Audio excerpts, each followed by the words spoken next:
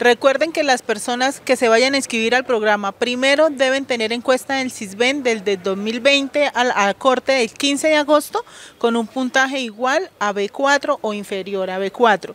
Deben tener niños menores de 18 en estas fichas y obviamente deben estar focalizadas en los listados. Los listados se encuentran publicados en la página web de la alcaldía.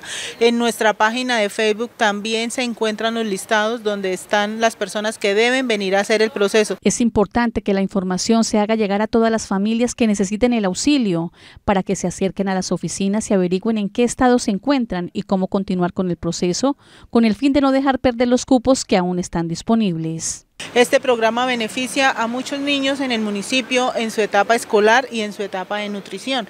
Entonces la invitación es para que antes del 27 de diciembre, por favor, las personas que están en los listados, que están focalizadas, que cumplen con el requisito, se acerquen para poder hacer este proceso de inscripción directamente para que sean beneficiarios en el 2023 del único programa que es Ley de la República y se mantiene, que es Familias en Acción.